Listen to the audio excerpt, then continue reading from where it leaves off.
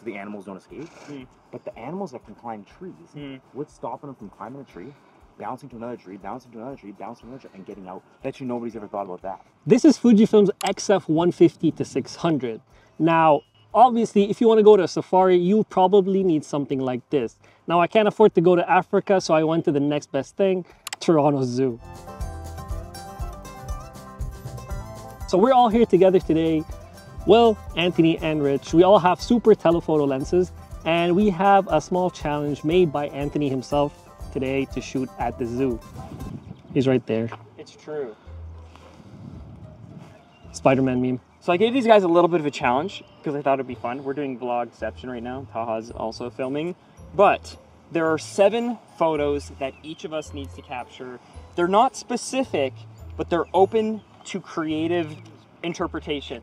Should we Think read? you got this? Yeah, should we read this? Well, I put it on the screen, so you don't need to read it. All right, it's right there. I'm gonna point here.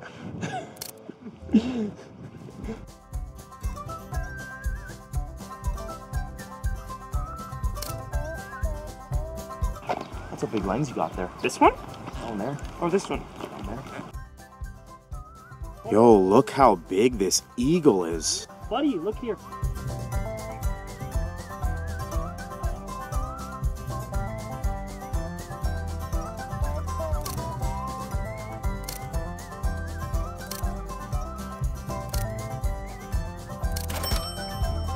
That a tiger? I think so. Or is that just a Will?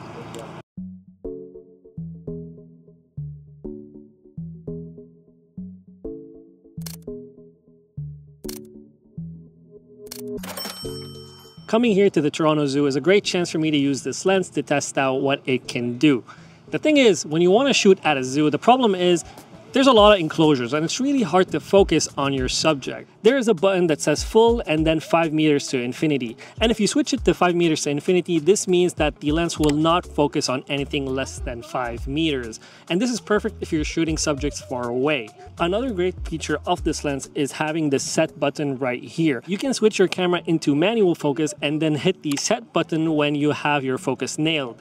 And this means if you turn off your camera off and then back on again, or if you switch to any other manual focus length, and then you hit one of these custom buttons right here on the lens, it automatically goes back to that focus, meaning you can nail your subject that is still at the same position. We all we all missed the snow leopard except Will got it. Will got it. me. I got it because I'm prepared. I need to mention this though. One of the problems of shooting as well is I am using an older XT4 model that uses the older processor and doesn't have all the AI autofocus features.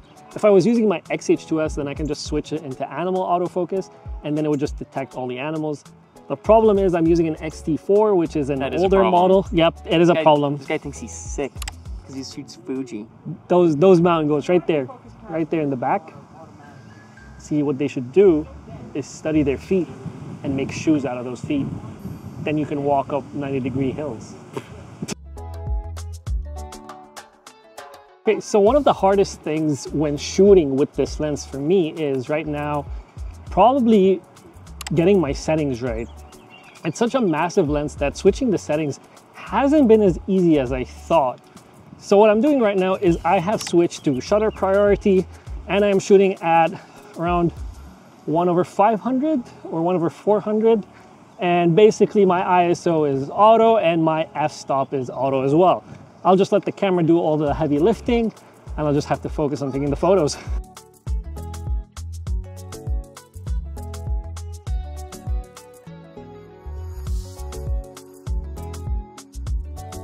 With his things out, looking nice and pretty. He's trying to rizz us up.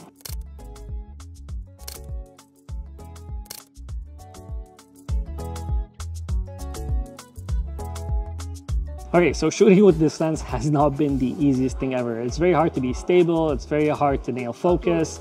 It's just a very difficult lens to use. So for example, shooting that snake right there that I just showed you, it's super hard for me to nail focus, especially when I'm very close to the glass.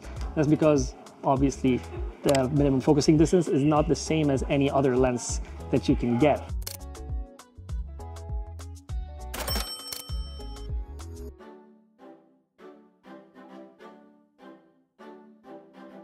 We're uh, heading to see the wolves. I think they're like Arctic wolves or something.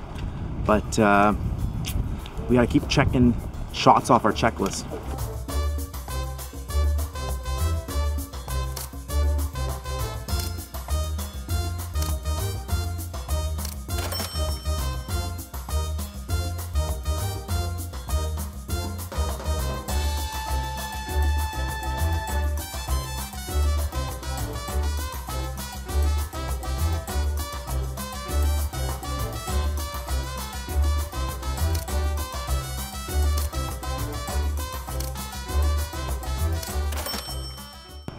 Okay, I genuinely think this is one of the coolest things I've seen so far, and the photos look sick.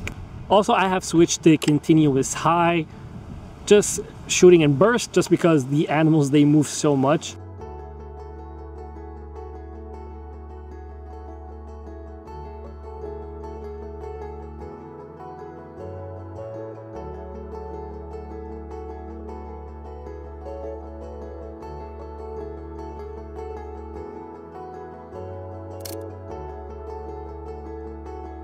So, what's your verdict so far on your lens? On the super telephoto, Yeah. um, convenient for wildlife, nice for solar eclipses if, if you could shoot them. We can't. And motorsports, motorsports, but a little bit too big otherwise. I don't know if I, uh, I don't know if I'm gonna keep it to be honest. But it's a big chungus, that's for sure. One thing that I genuinely find super difficult with this lens, other than focusing and being stable, is probably the weight. This is a really, really heavy lens, and it's kind of hard to walk around the whole day maybe with this in your backpack. Obviously, it's it's not made for everyone. People who do wildlife, people who do sports, action sports, I don't know, shooting the moon alignments. This is definitely for you. Probably not for me. I think I think we lost the. uh, I think we lost Anthony, Will, and Rich. Yeah, getting lost at the zoo is not on my bingo card. We're lost. We uh, We lost. We lost everyone. We found them. We found them. They're right there. After spinning for like, well, five minutes, but we found them. trying to steal my B-roll, son? Hey, I started filming. If we go back time code, you'll see that I clicked record first. But I was filming and you ended up in my video. What Yeah, is this guy doing? 'cause This I- guy's trying to steal it too. I'm just recording you guys. Oh my gosh.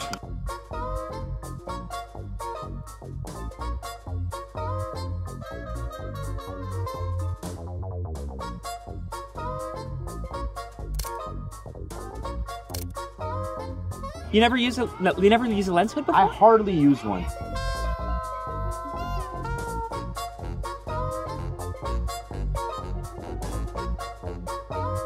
I'm shooting baboons today. Jack baboon right there.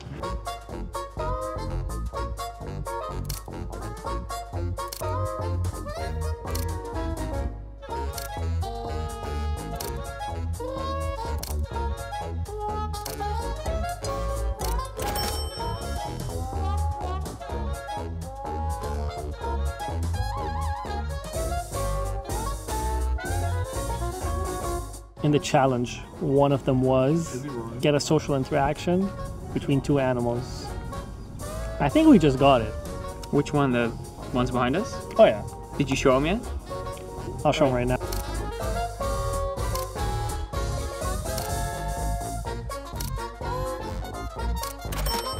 What do you think of this uh, this uh, lion? They're sick. They're freaking sick. That's one of the coolest things I've ever seen. Taha is going on an African safari after this.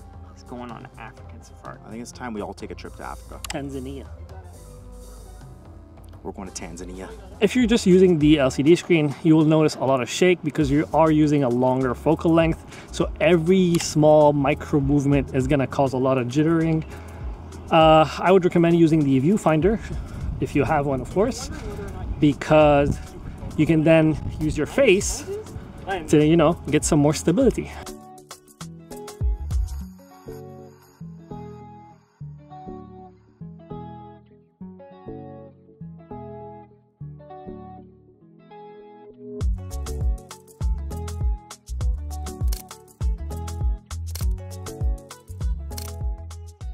I also would recommend if your camera well, modern cameras, they have new AI detection features. It would be a good idea to use that feature if you have it, because if you have it, might as well use it.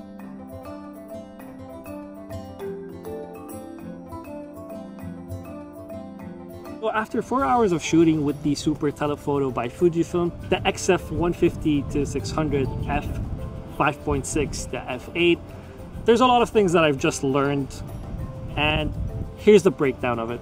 This lens is massive.